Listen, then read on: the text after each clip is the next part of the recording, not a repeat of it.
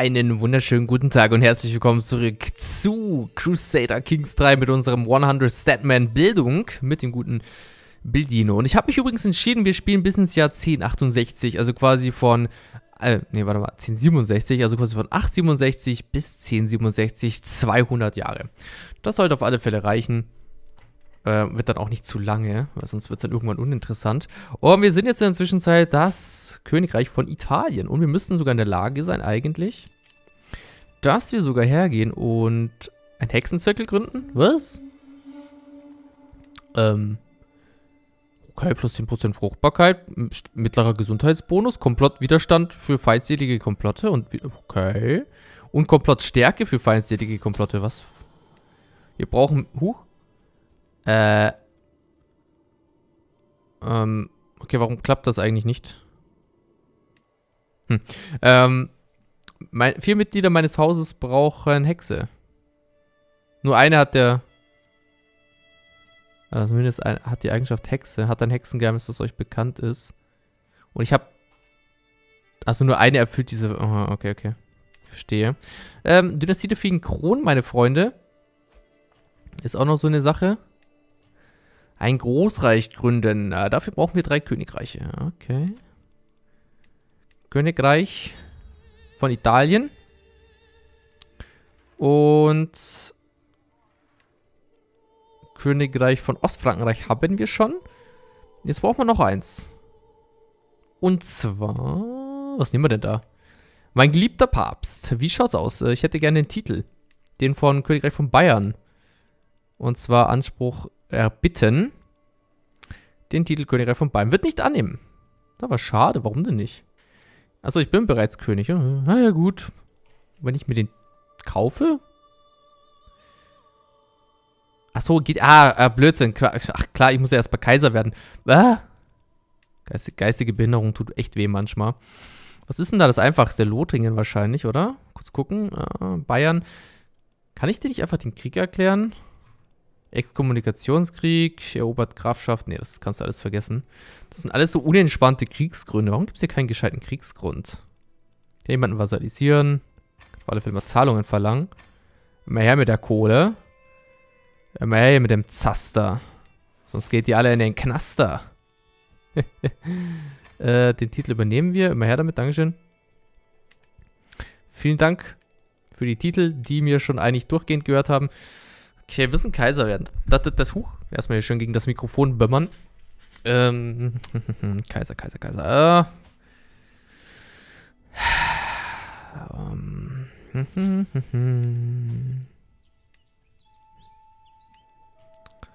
hm. Ja, Problem, ne? Ist gar nicht so einfach jetzt, wie man hier ordentlich weitermacht. Der ist im Krieg, er hat einen anderen Glauben. Bräuchte ein Königreich noch. Aber was ist denn das Beste? Romagna. Vielleicht, dass wir einfach hier unten weitermachen. Ich denke fast, das hier unten wäre das... Können wir jetzt mal aufhören mit diesem Komplott? Ich weiß gar nicht, warum ich das mal gemacht habe. Das ist einfach aufgeflogen. Lass das einfach. Gar keinen Bock mehr drauf. Also, was wir machen müssen, ist hier unten weitermachen. Und das machen wir jetzt ganz einfach, indem wir uns die ganzen Titel kaufen. Herzogtum von Romagna. Das, was wir jetzt hier machen, ist, wir holen uns jetzt erstmal den Anspruch. Aber wenn wir jetzt eh gerade auch noch Krieg führen. So, den kaufen wir uns mal und dann erklären wir natürlich den Krieg, unsere Ansprüche durchzusetzen. Das dürfte kein langer Krieg werden. Würde mich arg wundern. Hier alle ausheben. Ja, nicht lokale haben. Ach, egal. So, geht die einmal direkt bitte dorthin. Dann tun wir den Rest auch noch ausheben. Und wir haben den Krieg gegen irgendjemanden gewonnen. Hervorragend. Habe ich natürlich tatkräftig unterstützt. Jetzt sind wir ein Krieg mit dem Sultanat von Valencia. Das können Sie gerne probieren. Darum geht es mir eigentlich gar nicht. Ich möchte hier eigentlich einfach nur... Könnt ihr aufhören, mich alle in irgendwelche Kriege zu rufen? Da habe ja gar keinen Bock drauf. Geht dann mal dorthin nebenbei. Ihr unterstützt sie mal bitte nicht. Weil ich werde nachher noch mit denen im Krieg sein wahrscheinlich, am Ende des Tages. Weil die ja quasi gerade meine Gebiete fordern. Na gut, die 4400 Mann haben leider keinerlei Belagerungsausrüstung. Okay, wir haben jetzt 52%. Die kommen mit ihrer Belagerung da überhaupt nicht weiter. Haben die die gerade abgebrochen? die, die, die Belagerung abgebrochen, die Snacks. Huch. Ja, ja, ich rufe, ich mach doch alle, was ihr wollt mit reinkriegen. Mann, meine Güte. Vom Regen in die Traufe. Ihr haltet 40 Anspannung? Was? Ja, okay, alles klar. Schottland. Ja, schau mal, wie viele Kriege wir jetzt innerhalb von Sekunden haben. Kaum ein bisschen Großreich, will ja wieder jeder an die Wäsche gefühlt. So. Jetzt kann ich leider nichts mehr besetzen und die wollen sich wahrscheinlich auch nicht verkrümeln. Das heißt, es wird jetzt spannend, was hier gleich passiert. Schauen wir mal, sobald die das besetzt haben. Äh, was? Ich, ich habe Beweise, dass ihr euch mit Dämonen eingelassen habt. Er hält ein starkes Druckmittel gegen euch. Nö. So, jetzt bin ich eine Hexe. Hervorragend. Kann ich jetzt dann wenigstens Hexenzirkel gründen? Nö, leider nicht. Schade. Naja, wir haben immer noch eine relativ hohe Frömmigkeit. Ich tue jetzt hier die Forderungen mal durchsetzen. Jetzt habe ich alle Gebiete erhalten. Gut, warum nicht gleich so? König Tite Romagna. Ah, das ist übrigens der Papst. Ich tue dann quasi dem Papst den Titel klauen. Ich weiß nicht, ob das so eine gute Idee ist, aber wir werden es herausfinden. Da ist übrigens Bayern. Die Säcke, die sind auch überall, ne? So, wollt ihr mein Vasall werden? Wäre sogar möglich, rein theoretisch, tatsächlich. Wie wäre es denn mit einem Geschenk? Wie wäre es mit einer Beeinflussung? Wie wäre es mit... Ja, wobei die werden... Nee, ich glaube nicht, dass die annehmen, oder? Nee, ist sehr unwahrscheinlich, trotz allem. Ich denke, am Ende des Tages ist es für mich billiger, hier einfach den Anspruch zu kaufen. Und dann den hier den Krieg zu erklären. Das ist das Einfachste. Und ich kann natürlich meine Armeen jetzt aktuell nicht auflösen. Direkt hier unten mit dem Banner, weil ja nun aktuell mit der einen oder anderen Nation hier aus unerklärlichen Gründen im Krieg sind. Ah, alle Ansprüche, Dankeschön. Wird auch hier wahrscheinlich wieder eine kurze Sache. Also ich glaube nicht, dass das eine große Gefahr wird, sagen wir es mal so. So, dann schicken wir die erste Armee gleich mal dorthin. Die ersten Truppen sollen sich mal darum kümmern. Mit Steuerung Rechtsklick könnt ihr übrigens das Sammeln abbrechen und alle Truppen, die dort aktuell sich gesammelt haben, greifen dann quasi an. Das verstehe ich jetzt hingegen nicht so ganz. Das ist mein Gebiet. Achso, die haben mich... Ah, die haben mich angegriffen, die Hundle. Naja, die 500 Mann, die haben wir natürlich direkt gewiped. Da ist nochmal die restliche Armee. Die sammeln sich noch 5 Monate. Können sie gerne machen. Wir belagern in der Zwischenzeit mal die Hauptstadt. Und sobald wir dann das dritte Königreich haben, können wir quasi ein Kaiserreich gründen. Und dann können wir auch die anderen Königreiche unterwerfen. Und wir haben jetzt noch knapp 1078, also noch 100 Jahre Zeit gefühlt. Und wir haben auch den Krieg direkt gewonnen. Hervorragend. Dankeschön, Dankeschön. War ein schöner kurzer Krieg, hat mir sehr gefallen. Gerne wieder. Byzanz ist halt leider auch hier, ne? Die Ratten. So groß ist das aber gar nicht. Wir brauchen jetzt auf alle Fälle so Dings hier noch. Das Herzogtum von Spoleto war. Okay, die werden das niemals annehmen. Dann würde ich sagen, Anspruch kaufen. Dankeschön. Zum Glück haben wir so viel Prestige, ey. Ich sag's euch. So, ihr dürft gehen. Damit ich dir den Krieg erklären kann, müsst ihr nicht erstmal weggehen. So, Ansprüche von uns durchsetzen. Und da würde ich sagen, uh, no risk, no fun. Es ist Zeit für Krieg. Wobei no risk, no fun dann auch wirklich schon eine sehr weit hergeholte Sache ist. Habe ich eigentlich Probleme mit Aufständischen aktuell? Ähm, ja, müssen wir aufpassen. Trotz allem. So ein bisschen. Wir haben zwar einen hohen Bildungswert, aber das war's dann auch wieder, ne? Wir haben halt... Ja, wir haben viel Geld, wir haben einen hohen Bildungswert. Einzige, was wir jetzt kurz machen könnten, wäre... Gut, sie hasst uns, wahrscheinlich, weil sie einen Platz im Rat will. Äh... Militärisch tun wir ihn mal austauschen gegenüber ihr. Das sollte sie schon mal zufrieden machen. Dann zur Hexerei bekehren. Was? Was zur Hölle? Okay. So, ja, verlieren wir mal ein bisschen Prestige. Komm. Ich kann nicht immer jedem helfen. Muss erstmal meine eigenen Ansprüche durchsetzen. Ich kann echt Leute zu Hexen machen. Interessant. Das müssen wir bei vier Stück machen. Aber einen neuen Lebensfokus. Da machen wir mal... Titel Schaffungskosten minus 15 ist natürlich auch nice. Aber wir machen jetzt erstmal das hier unten. Gehen wir da den kompletten Baum runter. So, wenn ihr euch dann irgendwann mal... Was? Soziale Manipulation? Wie könnt ihr es wagen, den König herauszufordern? Gute Frage eigentlich. Schön, dass wir mal drüber geredet haben. Könnt ihr aufhören, euch hier zu sammeln die ganze Zeit und einfach mal angreifen? Finde ich ja mal echt schön. Unsere 11.000 Mann, die wir haben. Wir sind eigentlich relativ schwach, ne? Muss man auch wirklich immer noch mal dazu sagen. So stark sind wir eigentlich gar nicht. Kann irgendwo was bauen. Meine, bei uns hat das... Also unsere Domänen sind alle ausgebaut soweit. So gut wie möglich. Ah, das war es dann halt auch wieder am Ende des Tages. Zumindest sorgt es dafür, dass wir fraktionstechnisch ziemlich stark sind. Wobei die jetzt echt verdammt stark sind, okay. Das ist ein Problem. Also wird es irgendwann einen Krieglein geben hier. Und die kriege ich niemals alle raus. Das ist das Problem. Können natürlich versuchen, die zu beeinflussen. Oder schicken jetzt einfach mal random Geschenke. Ich habe aber kaum mehr Geld. Und ich habe einen sehr schlechten Diplomatiewert. Das ist halt auch problematisch. Was ist denn das hier für eine? Sie hat einen hohen Verwaltungswert. Ja, einen niedrigen Diplomatiewert zu haben, ist halt immer schlecht, ne? Das heißt, wir werden hier früher oder später jetzt dann gleich mal Kriege erleben, leider. Oder wir tun halt quasi unser diplomatisches Setting buffen. So, jetzt haben wir das auch auf alle Fälle mal. Kann ich die Boys wieder auflösen. Müssen wir jetzt quasi gucken. Ja, 197 plus 37 im Monat. So, 250, 207, Dankeschön. Ich habe zu viele Herzogtümer. Ja gut, das ist ein Problem, ne? Das Einzige, was man jetzt hier zum Beispiel machen könnte in der Situation, wäre zum Beispiel die Titel vernichten. Wäre mal eine Möglichkeit. Habe ich hier oben Gebiete? Nö. Das heißt, die Titel könnte ich sogar abgeben, oder? Habe ich die aktuell oder habe ich die nicht? Ne, die habe ich gar nicht, den habe ich auch nicht. Welche Titel habe ich denn aktuell noch? Anhalt, Tirol. Anhalt, habe ich da Gebiete, die ich aktuell besitze? Weil sonst sind die nämlich weg. Nö, auf den ersten Blick mal nicht. Das heißt, vergeben an. Jemanden, der mich mag im Zweifel, bitteschön. Okay, dann haben wir jetzt noch Ancona und Spelotti. Was ist das hier? Da habe ich aber auch nichts. Ich habe echt den Titel von dem Ding. Geht doch weg. So, immer noch zu viele Titel. Ja, Spoleto ist das hier.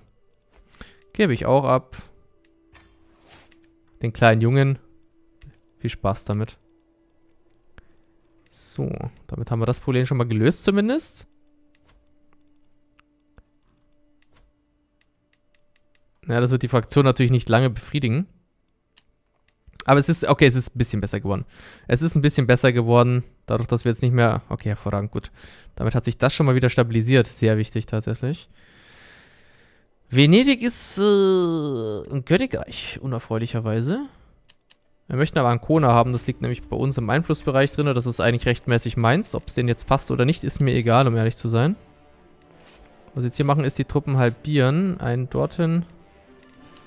Die anderen gehen dort unten hin, wenn die dann irgendwann mal ausgesammelt haben. Erwarte es nicht, dass die Venedianer da irgendwas Großes entgegenschmeißen können. Und da müssen wir uns quasi noch um Byzanz kümmern. Das wird eine andere Geschichte. Na, Byzanz. Ja, wir könnten hier auch einen Anspruch kaufen, ist aber relativ teuer. Aber das wäre tatsächlich möglich. Was? Ah, weil es ein Kaiserreich ist. Warte mal. Ich kann mir einen Vor ich kann mir den Titel eines Kaiserreichs kaufen, aber nicht den von einem Königreich. Ich finde das relativ interessant tatsächlich, muss ich sagen. Was für weißer Friede. Ihr könnt froh sein, wenn ich euch nicht zerquetscht wie so fliegen. Weißer Friede. Ah, schattenweißen Frieden. Narren. So, seid gegrüßt. Äh, ein Briefwechsel, das machen wir doch gerne. Das bringt uns diplomatische Erfahrung. Venedig, die Hauptstadt, ist auch gleich gefallen. Und ähm, jetzt ist die Frage, was soll man denn mit ihm besprechen? Er ist ein knausriger Buchhalter. Das heißt, Steuersätze klingt wahrscheinlich nach etwas, was er wahrscheinlich gerne machen würde. Hoffe ich. Ähm, ich hab, ihr habt mich gründlich falsch eingeschätzt. Was?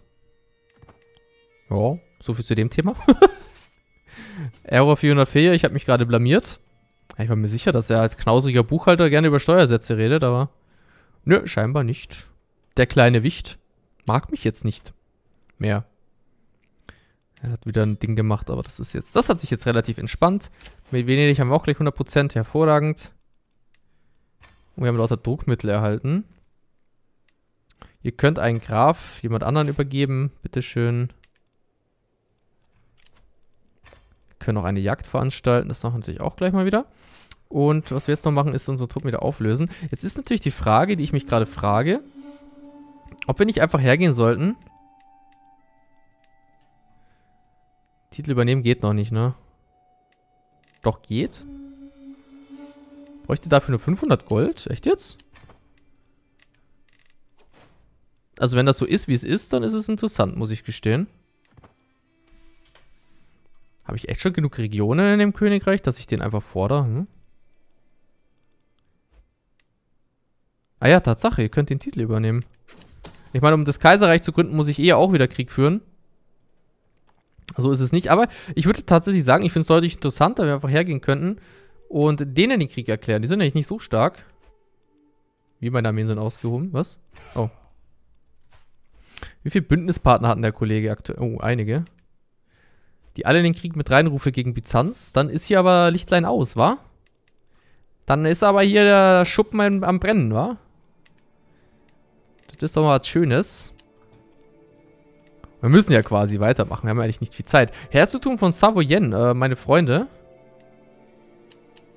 Das ist aber schön hier.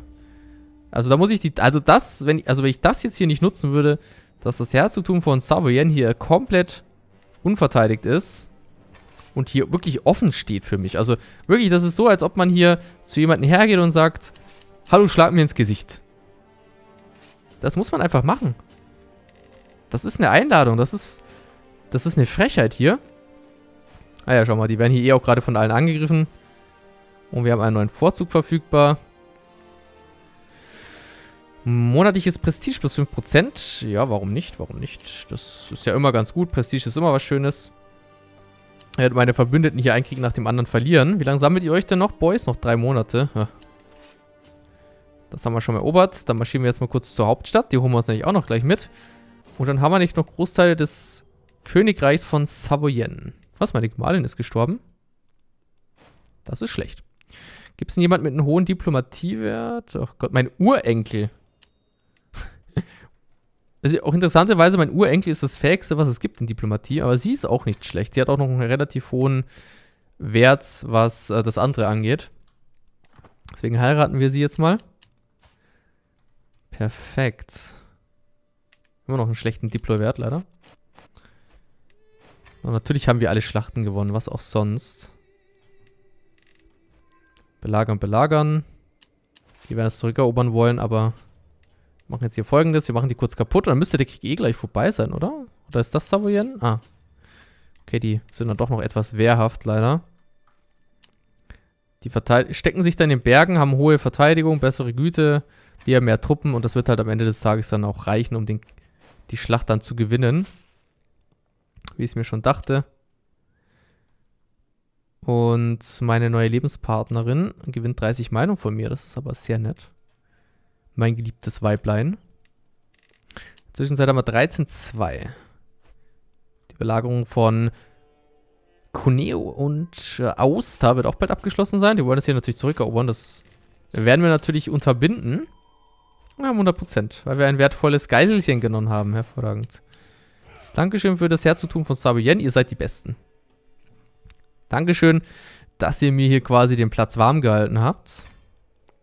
Und wir müssen jetzt da wirklich gucken, dass wir dann auch wirklich hier erstmal jetzt ein Kaiserreich gründen, dass wir dann Königreich-Titel abgeben können. Wir halten jetzt wieder zu viele Herzogtümer. Ja, ja, ja. Das vergeben wir wieder an einen unserer Kinderlein. Mein Sohn und Vasall, bitteschön. Viel Spaß mit dem Titel. Und jetzt ist das Ding, was ich jetzt machen werde, ist, wir werden jetzt gegen Byzanz den Krieg führen. Und das ähm, ist eine total coole Sache eigentlich.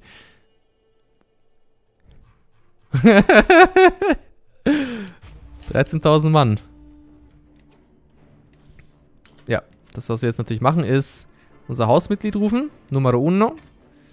Verbündete rufen. Numero dos, tres. Quattro. So, danke, danke, danke. Vielen Dank für alle eure Unterstützung. Gibt es noch Leute, die ich verheiraten könnte aktuell eigentlich? Haben wir eine neue Gattin. Die können wir auf alle Fälle ein paar Mal schwängern. So, sie ist verheiratet, verheiratet, verheiratet, verheiratet, verheiratet, okay. Ja, unfortunately. Sind alle irgendwie verbundelt, verbandelt, verwandelt. Sie auf alle Fälle gleich mal schwängern. Aber jetzt nur 55% Erfolgswahrscheinlichkeit hat, weil wir ein diplomatisch komplett inkompetenter Krüppel sind, wenn ich das mal so sagen darf. Also ist die Frage, wohin mit den Truppen? Wir sagen, wir heben die hier aus. Meine ganzen KI-Verbündeten werden mich ja eh unterstützen nachher. Und dann ist die Frage, wer hat die mehr Truppen hier? Wer hat mehr Truppen auf dem Feld? Er hat 9,6, wir haben 18. Jawohl. Einer fehlt sogar noch, glaube ich. Ein Verbündeter.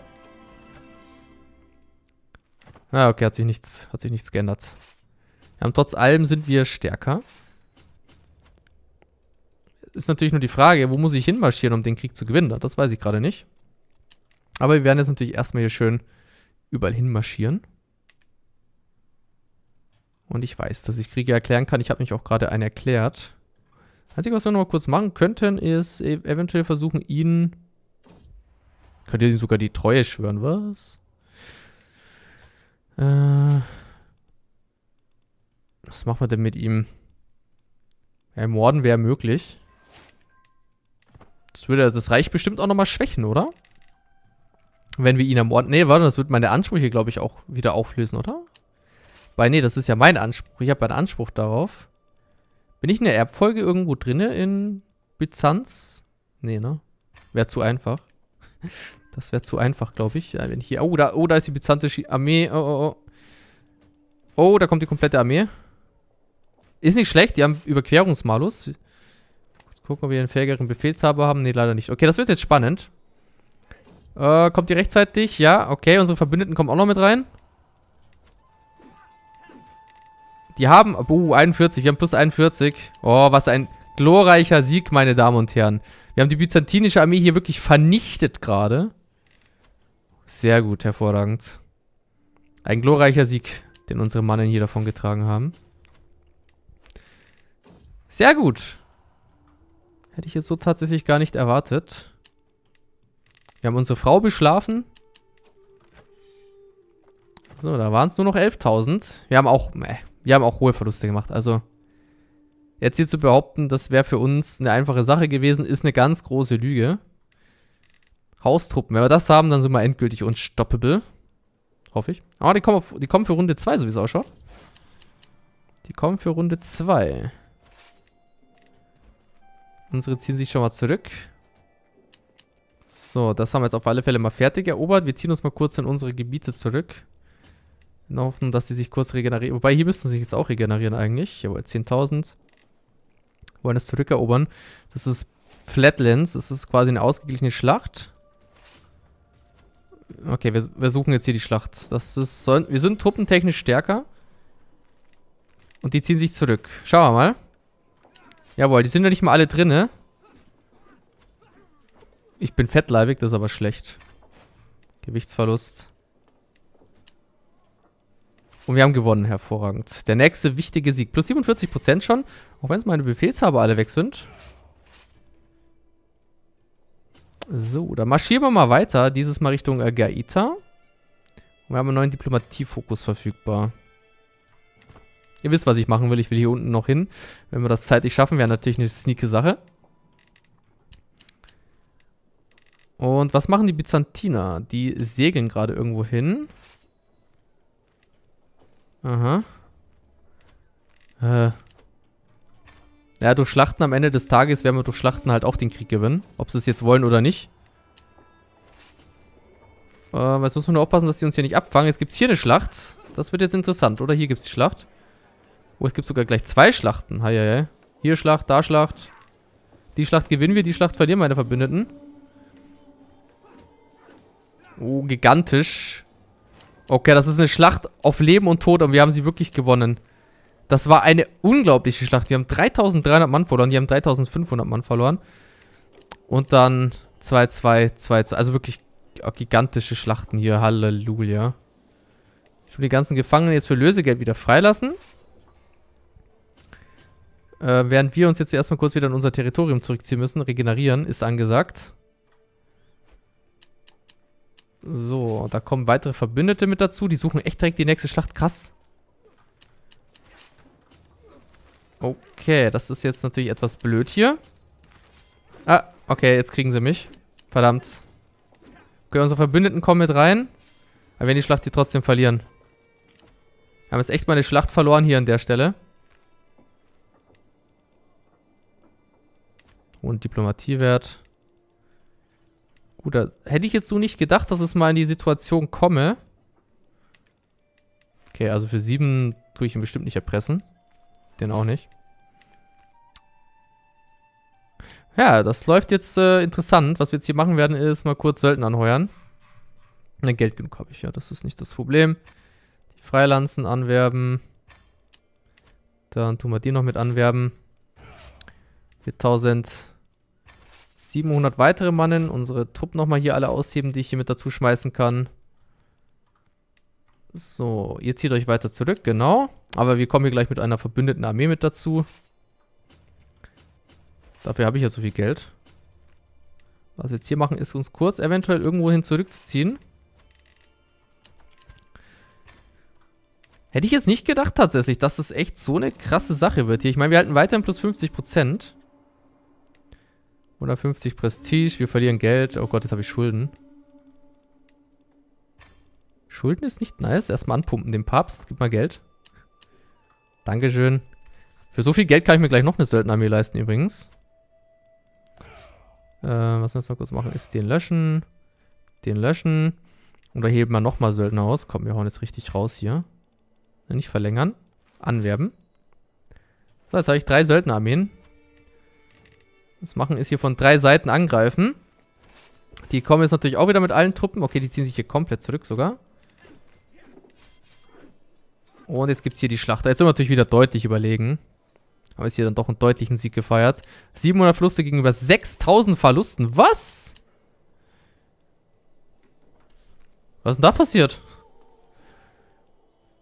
Die, die, haben ja komplett, die sind ja komplett rasiert worden. Halleluja. Wir haben natürlich auch schon eine, also wir haben auch, also muss nicht diskutieren, wir haben auch echt hohe Verluste gemacht teilweise. Aber krass. Ich kann noch Bündnisse man, äh, machen mit meinen Söhnen übrigens. Ist übrigens immer ganz gut, dann erklären die einen schon mal nicht den Krieg. So, kurz merchen, halbieren. Marschieren wir mal dorthin mit unserer gesamten Armee. Wir haben ein weiteres Bündnis.